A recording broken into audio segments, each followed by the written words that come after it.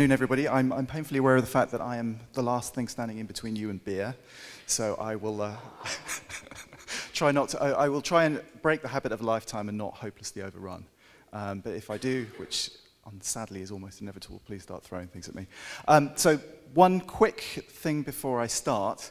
Um, I, am probably more than usually technically challenged today because, as ever, I I punish myself by using, insisting on using Linux. And it always means that every time I try and connect my laptop to a projector, something goes horribly wrong. So thankfully, um, I've been able to borrow another Linux laptop from, from Lars, who's very kindly loaned it to me. Um, but uh, it has a, a, a German keyboard, uh, plus, plus, uh, plus, plus it's not, it's not my usual setup. And I've just, I've just fortunately, fortunately, all my presentation was, was a GitHub project, so I've just been able to clone it and recompile it. So hopefully everything will be all right. Um, but yes, please, if, if, if things are more than usually fumbly, um, uh, please bear with me. Okay, so um, my name is Miles Sabin. Um, as some of you may know, uh, I am uh, yet another precog person as of around June of this year.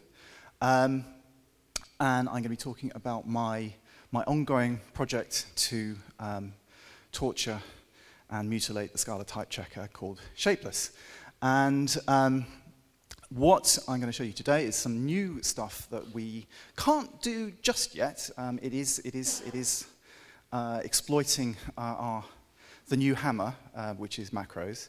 Um, but it's, a, it's, a, it's, a, it's, a newer, it's an even newer bit of the new hammer, uh, which is uh, specifically uh, implicit macros and, and type macros, which currently only exist in um, the uh, macro paradise fork of Eugene uh, Burmako's Scala Kepler fork uh, which is basically the testing ground for new features in, in, in, in, Scala macros. In actual fact, there's one crucial feature that I relied on that actually didn't work until Wednesday of this week, um, because there was a kind of feature I was trying to use. Um, uh, it looked good to me. Uh, everything seemed to be fine, um, except uh, I uh, tried uh, doing something which triggered the, the, the, the, the macro that I, the type macro that I defined uh, sorry, the implicit macro that I defined, and was faced with a, a, huge and ugly looking stack trace on, on the console, ending in a uh, triple question mark not implemented error. Uh, actually, the bit of the implicit macro API that, that I needed to use to get this stuff to work, um, um, uh, Eugene hadn't quite got round to it, so I sent him a, a, desperate email saying, "Hey, Eugene, any chance of you, any chance of you actually implementing this? I could really, I could really do with this before Friday." Uh, because I need it for my talk. And um, uh, he, was, he, was, he, was, he was back uh, within, within a couple of hours for a fix. And it was, it's, it's, it's kind of a relatively minor, it's, it's sort of just elaborating stuff. But anyway, the big disclaimer is that none of this is available in, in, in a, a released Scala compiler whatsoever, not even 2.10. Uh, it's not even on um, it's not even on, on the 211 snapshots yet. Uh, it's macro paradise only. There is absolutely no guarantee that uh, implicit macros um, will make their way into, into Scala ever, in fact. And I, I, think possibly one of the things I really want to try and do is, is get enough people interested in implicit macros to, that, that there will be uh, a, a, a, riot if, if they don't get included in, in, in, Scala, in Scala proper.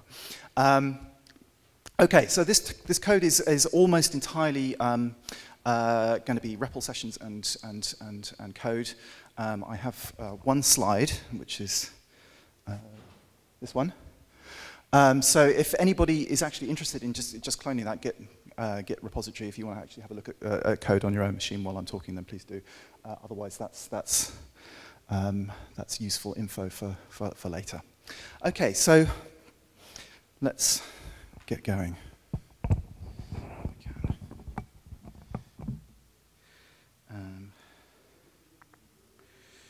Right, so um, what I'm going to show you, basically, um, is a way of uh, exploiting um, implicit type and implicit macros to make some of the techniques that I've been exploring uh, in Shapeless already uh, just that little bit more uh, useful and tractable.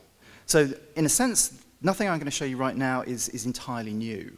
Uh, most of the things I'm going to show you today are things which um, have been possible to do uh, in Shapeless using, uh, using the kind of the type level programming stuff uh, that it's known for, for for quite some time now.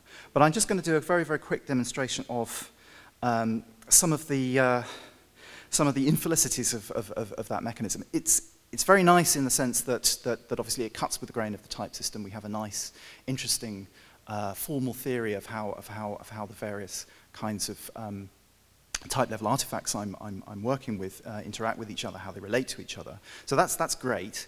Um, so it's something that we can reason about very, very straightforwardly. Um, on the other hand, um, uh, macros they're, they're, kind of the sort of the imperative version of type level programming in a sense. I mean, they're full of loops and go-tos and sort of mutable state, as opposed to the beautiful sort of declarative logic programming style of, of, of type level programming, which is the way it really should be done.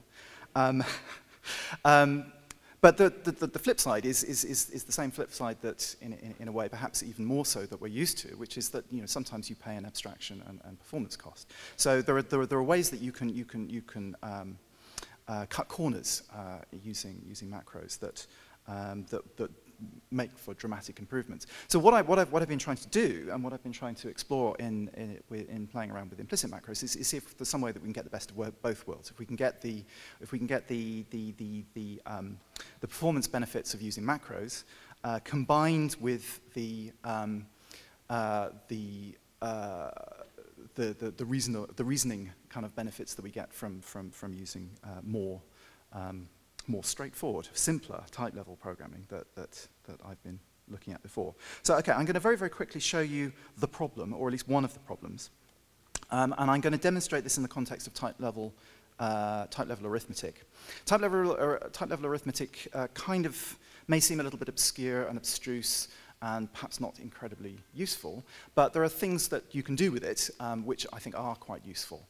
Um, and in the sense, this is one of the poster children of, of the dependently typed programming revolu revolution, the idea of having um, uh, vectors or collection types which have their size statically encoded in their type. Um, so this is, this is already present in Shapeless. This works on Scala 292, um, uh, but it's clunky, and we'll see in a second just how clunky it is. Um, so let's, let's do a couple of quick imports. Uh, so shapeless. Um, so let's try import.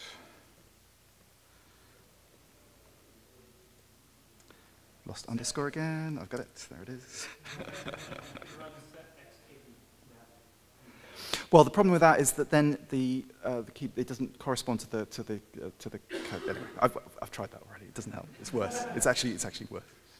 Um, uh, right, okay. Sorry? Have I missed something? No? um, so, um, so, uh, so um, Shapeless has, has type-level natural numbers. These, these are encoded as um, a sort of Peano numeral. So it's, it's, we start with zero. Uh, we, have, we, we have, as well as, as, uh, as a type-level form, we, we, we also have a, um, uh, a value level form as well. Um, so this is, this is, this is the, the value level form of, of the natural number zero. Uh, and you can see its type is um, uh, shapeless, uh, shapeless.nat underscore zero, and its value is, is some sort of uh, anonymous value of, of, of the nat type. Um, so we can continue on with, with these underscore prefixed uh, uh, natural number values up to, I think I go up to 22 for some obscure reason I can't imagine exactly. Sorry, yes? Resizing the window up slightly. Yes.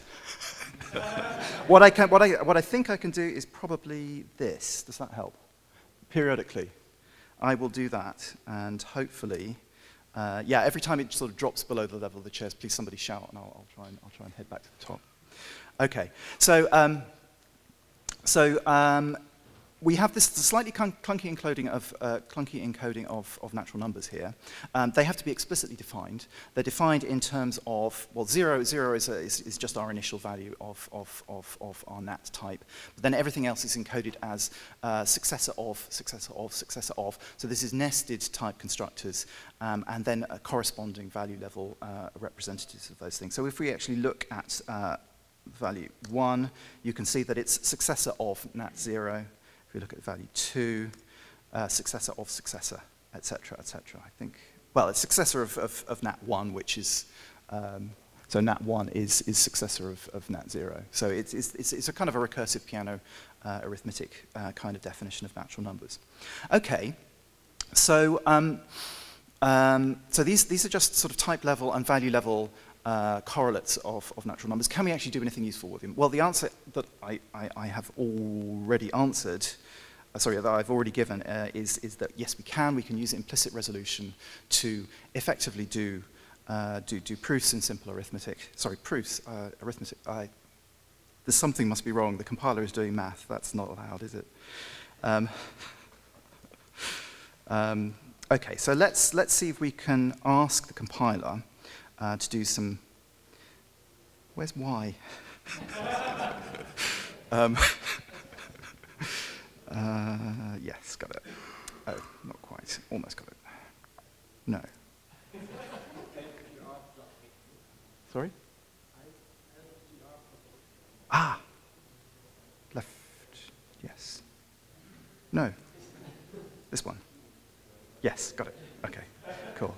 Um, okay, so we can do. We can ask the compiler to prove for us um, that um, three plus 5 is 8. It's an incredibly complex proof, um, like so. So here we are using, uh, is that a comma? It is a comma.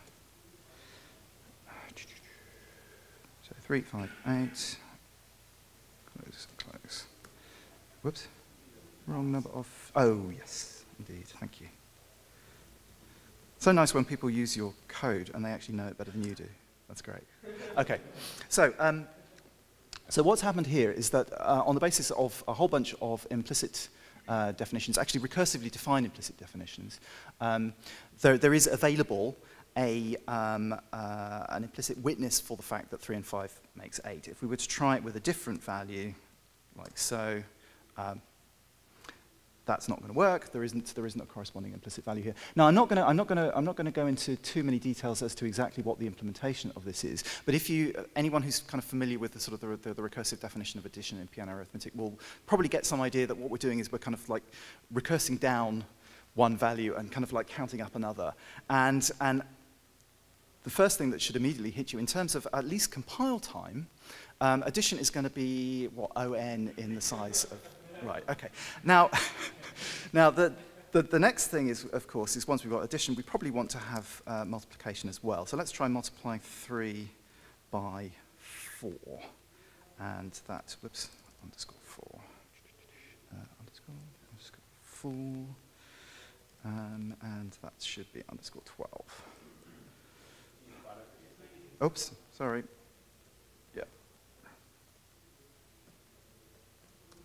Yay, cool. Okay, so that works as well. Now, um, the definition of um, uh, uh, multiplication in, in Peano arithmetic is kind of doubly recursive.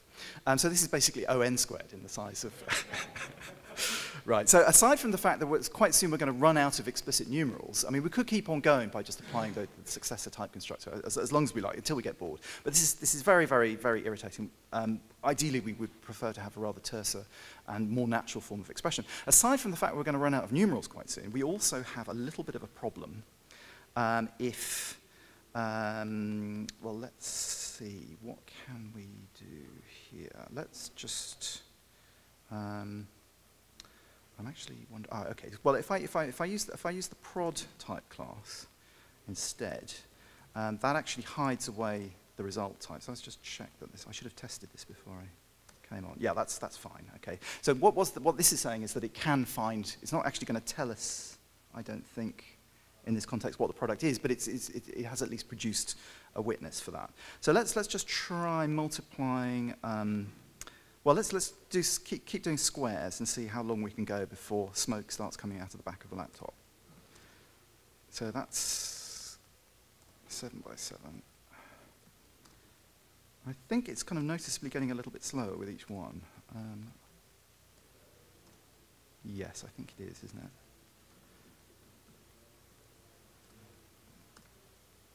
Definitely. Well, let's, let's, let's go a bit faster. Let's try. Yes, okay. So A bit further. Let's try 20 squared. I actually think this, this, is, this, is, this, is, this is quite good. I can remember some, someone else um, was experimenting with type level encodings of natural numbers, and I, th I, think, I think their implementation only got up to you know, 8, 8 squared or something like that. So I think the fact that I could actually do 40, well, 20 squared in, this is, must be a pretty good laptop, this. Okay, so this is, this is, I've, run out, I've now run out of integer literals after this one, and that's as far as it goes. But as you can see, basically, compile times in this kind of setting, they, they just blow out horrendously. So it's, it's, kind, of, it's kind of not very practical um, for, for, for, for real uses. Um, okay, so we've got two problems that we've seen. Um, and uh, one of them is clunky literals. The other one is um, um, uh, is, is, is, just horrible, horrible compile times for, for any kind of non-trivial uh, type level arithmetic. Um, so, what I'm going to show you now is um, some nifty things I've been able to do with, with a combination of, um, um of type macros and implicit macros, which will fix both of these problems. So um, the first thing I want to do before I do that is I just want to very briefly um, uh, introduce singleton types. Um, Sorry, I'm being gestured at that I'm, I'm, not close enough to the microphone. So singleton types. Can I have a quick show of hands who here is familiar with singleton types in Scala? That's a pretty good proportion, actually. That's great. Um, okay, so singleton types are um, basically types which have precisely one inhabitant. So rather than being, say, the type integer, which contains all of the integers, you might have the singleton type of 1, uh, which contains precisely and only um, the, the, the, integer 1. So it will be a type error, for example, to ascribe the type, uh, the singleton type of 1 to the value 2. Um, so Scala actually uh, has singleton types. Um, unfortunately, it doesn't have them, uh, well, it, do, it, does have them across the board. It has them with respect to all types. All types have uh, corresponding singleton types. Um, unfortunately, it doesn't have syntax to express them with respect to, uh, to literal values. So there, there, there, there's no way, Scala type checker represents internally um, uh, singleton types for integers, but you, you just can't, you can't, you can't just express that in Scala surface syntax.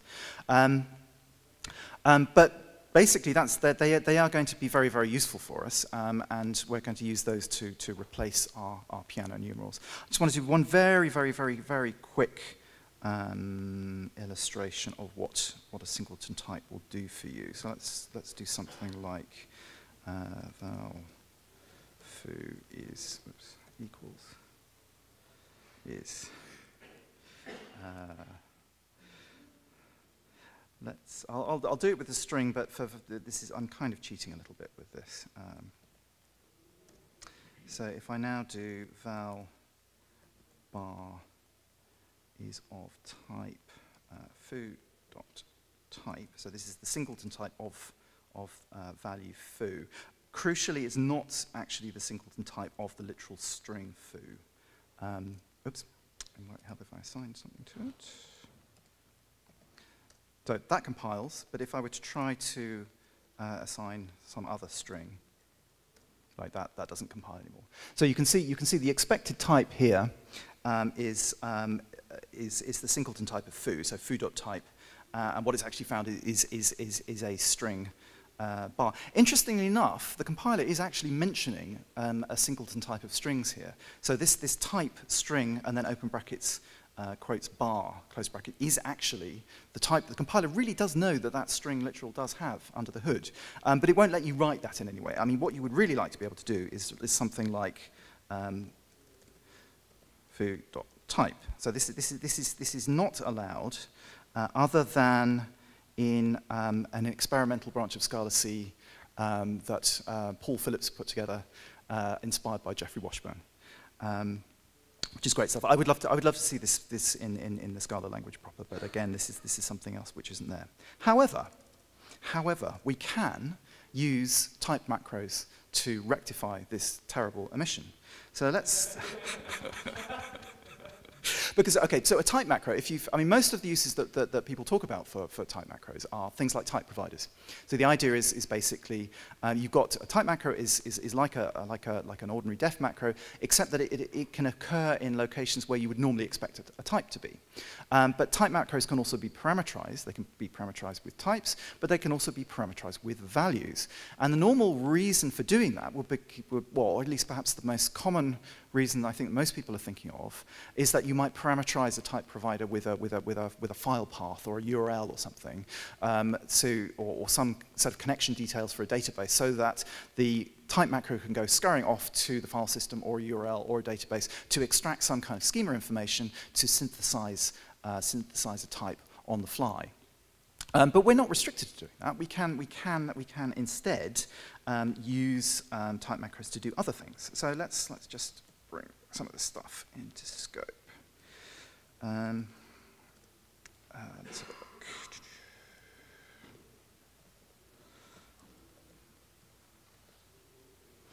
Um, in, what, in what follows, all of the S prefixes that you're going to see here are short for um, really? Uh, that's worrying. Did I check out the wrong branch? Uh, yeah, good point. Can I? Tab. Does it? Why do you think? This is a different machine. because I couldn't get my machine to talk to the. Ah, right, okay, cool. So uh, I've forgotten something. What have I forgotten? Um, what have I forgotten? Oh, uh, shapeless examples. That's tab completion is not working for me. Why is this not working? Uh, damn.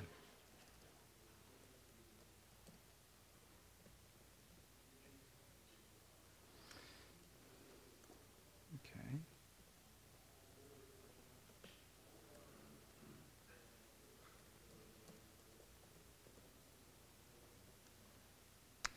Thank you so much. Is that? Okay, I've got a problem. Oh. What? Never mind. Okay, onward. Um,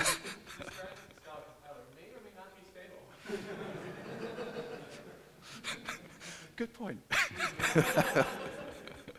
okay, right. So um, I've brought into scope. Um, so the, the, the, S prefixes and, everything you're going to see here are, are, are, short for singleton because I'm, I'm playing around with singleton types. Um, so I, we're, we're, going to have a, um, a, natural number type which is based on integer singleton types. But before we get onto that, I'm just going to show you something which is a sort of a useful piece of, of the puzzle, namely a way of um, cheating the Scala compiler into, into allowing us to work directly with singleton types for integers and also booleans as well. So um, here we are going to have a, uh, let's call it 3.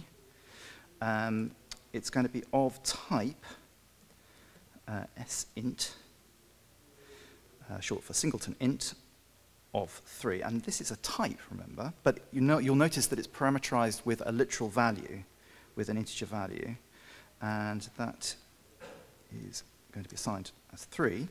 If, on the other hand, we were to try and do this, oops, type error. And notice the, the interesting form that the Scala compiler gives us the, um, uh, the type mismatch back as. The requirement is int3. And again, I, there's no magic here. I haven't done anything to produce that, that particular error message. That is the internal um, uh, Scala compiler representation of the singleton type of the integer 3. Um, but what it found instead, though, was, was, was um, the singleton uh, integer 4. Okay, so what's going on here? How, how have we managed um, uh, to do that? Well, uh, very little magic at all, really. There is, there is a timer. I'll, I'll, show you, I'll show some code uh, a, a, little bit later on, uh, if, if there's time, and if not, we can look at it later. Um, what we have is a type macro, um, and the, um, uh, the, basically the Scala type checker itself is going to, is going to enable um, the, uh, sorry, I beg your pardon, there is, there is an implicit conversion from, from vanilla non-singleton integers um, uh, with the restriction that they are represented as, as uh, integer literals.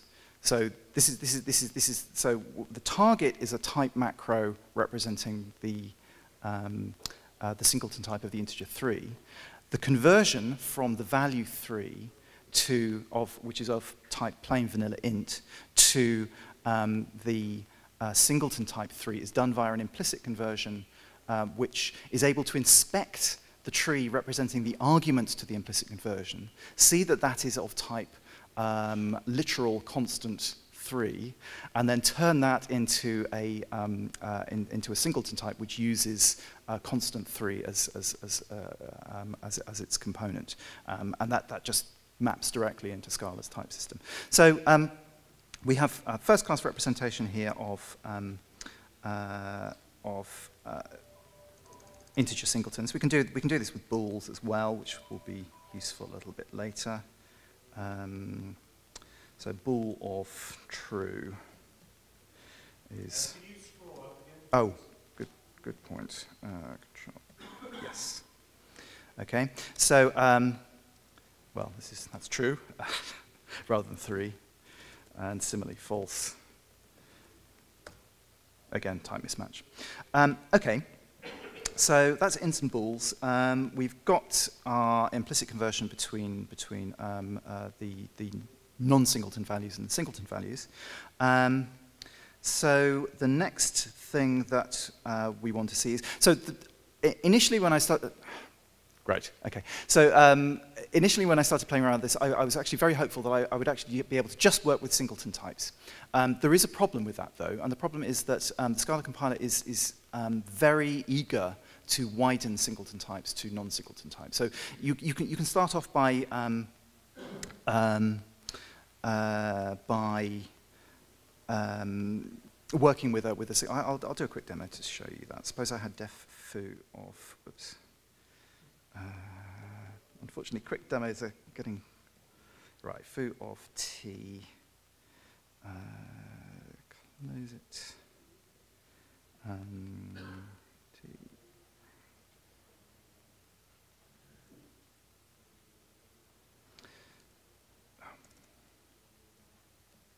Right, so this is, this is, this is an identity function. So let's, let's apply it to, whoops. So foo of 3, you would hope would be, oops, yeah, you see what's happened here is we've lost the singleton typing. Um, so even, even though that the, the explicit type of foo, whoops, uh, 3 rather, let's move that up again uh, even though the explicit type, well, in fact, he's lost it even there. So basically, basically singleton types, singleton types basically evaporate very, very quickly. They, they, they exist very, very transiently. Um, so we need, we need some mechanism for, for keeping these things hanging around. Um, so singleton types will evaluate when they're, the, if you like, the top level the outermost type um, of a value. But if they're actually embedded, if they're wrapped in a type constructor, so if we're, we're, we're kind of doing boxing here at the, at the type level, if we, if, we, if, we, if, we, if we wrap our singleton type in another type constructor, um, we, will, we will end up with something which, um, which, which hangs around a little bit longer. And the, when, once we've got something which hangs around a little bit longer, we can do something useful with it. So, let's, so what we have is, uh, is a, um, a SNAT type, a singleton NAT type, um, which is basically the type level boxing of uh, an integer value. So let's, let's see what we can do with that. So let's have val 3. Uh, this time is going to be of uh, type uh, snat of. So this is our box at the type level. Whoops. Uh, box, and we'll use the singleton integer types because we need to, obviously this is this is this is a, this is a, a type level thing. So we can't mention um, uh, values here unless, unless we use the, the, the, um, the type macro that we've, we've already prepared earlier. Um, so, okay. Uh, equals 3, okay. Right, so what's happened here is that, um, so this time round, um, uh, we have um, a, a, different implicit conversion. So this implicit conversion is taking a, um, uh, an integer literal 3 onto a value of type um, snat of the singleton type of 3. So this is, this is, this is going to hang around for longer. So this, this, this value 3, um, you can see that we've, we've, we've still got it. We, can, we, we could pass it through that identity function. Uh, and, and we'll get back out what we put into it. So that's fine. So we've got something now which is sticky. Um, so I guess, I guess before, I, before, I, before I move on to the next bit, I just want to observe that we've actually solved part one of the problem. Uh, we now actually have, um, because we have a way of, of, of lifting integer literals to the type level um, automatically via implicit conversions, we, we can now start expressing uh, APIs in terms of uh, in terms of integer literals in, in situations where we might otherwise encode um, an index uh, via a type level literal. So there's a whole bunch of places in Shapeless um, where that's done. So for example, in, uh, in, in HLists, um, there, is a, there is an indexing um, uh, method to, to pull out the nth the nth element of, of an H-list. Um, this obviously has to be, to, to keep the typing lined up, uh, this obviously has to be uh, an index which is, which is statically known at uh, uh, uh, compile time. So consequently, the, the, the, the shapeless API is, is, uh, is defined in terms of type level, type level natural numbers. Um, using this technique, we'll be able to just replace that and just use integer literals for indexing. So that, that's, that's kind of nice to start with. Um, so we've kind of solved a bit of the problem. The other bit of the problem is, is we're not restricted to, to 22 anymore. Um, we can, um, uh, we can let's, let's do something else. Uh, let's have 33.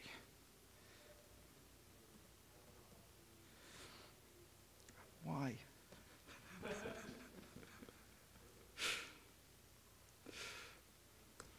Hurrah.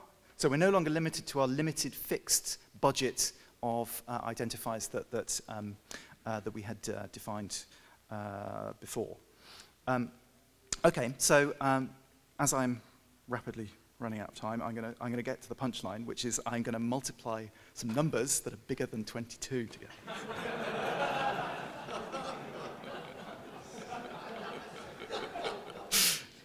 so remember how long it took last time?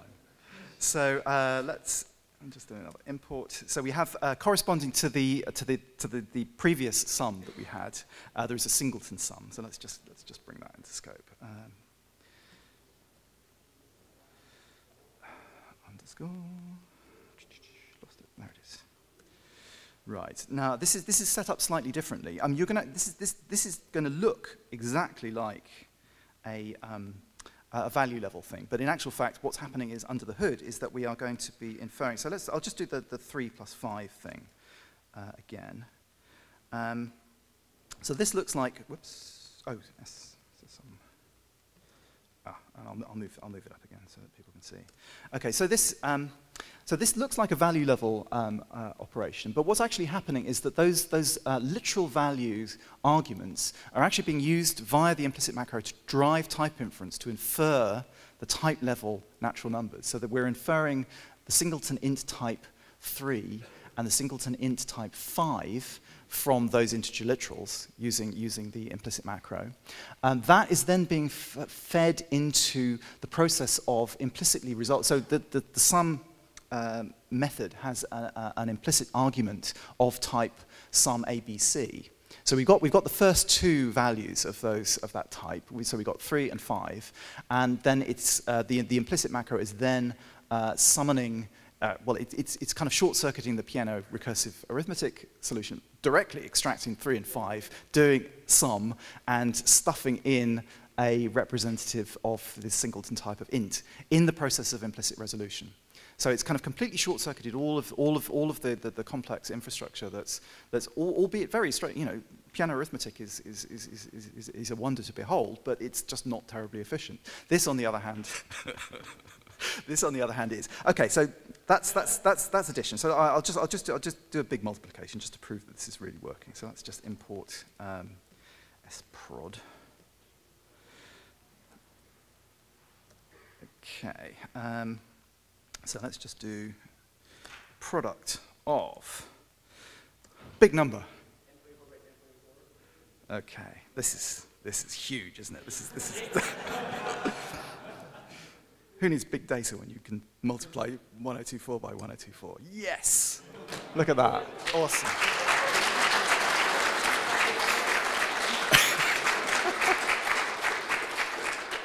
I think this is the first time I've ever been applauded for multiplying two four-digit integers.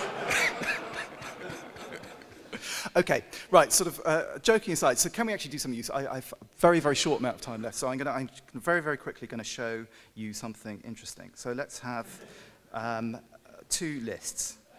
Uh, one is going to be, oh, come on, of length three. So one, two, three. So again, this is, this is stuff which exists in Shapeless uh, already using the, the, the Peano arithmetic encoding. So L2, so these are ordinary Scala lists. Uh, four, five.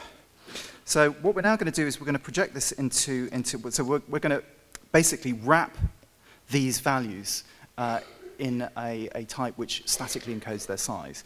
Um, so we, we do have to do um, uh, a, a, little bit of, of, if you like, runtime jiggery pokery, at least initially just to bootstrap us into this, because the compiler doesn't know anything about these, it just knows their lists. But once we've established that they are lists of a given size, then we can work with that. So let's, let's first have uh, sized list one. So that is going to be uh, uh L1 uh, sized, and now we have to say explicitly what the size is. Uh, Z, Z, Z, Z. Sized. I may have to import something else actually. I'm just trying to remember. Yes. Import. Z, Z. Come on. Right. Okay. Quick. L. Right, okay. So what we, what we get back from this is a, a is, a, is a, a list type which has been stamped. Um, can I just finish? I have to just show this example. I'll be as quick as I possibly can. Okay, so um, it's, it's, it's, a, it's a list which has been stamped with its static size. Um, it, we get back an option because obviously it might not actually be of that size. So in this case, it is of length 3, so we get back, a, we get back some of that list. You'll notice, crucially, and this is the difference between this and, and um, uh, non-macro shapeless, is we, again, we can use an integer literal here. Let's, let's just get that because we know it's there. Let's do the same thing with, um, with the, uh, the second list. So list 2, which was of length 2. Right, so you can see we've got, first we've got a list of uh, length 3, a list of length 2, again encoded in the type. Now what happens if we do this plus? Where is it? Ah, there. Shift? No. Control? No. Just plus. No, where is it? I can't find it. Where is it? Help. Ah, there. Fantastic. Okay, so length is five. Fantastic. Okay. I'm the, the man with the, uh, the uh, walking stick has dragged me off stage.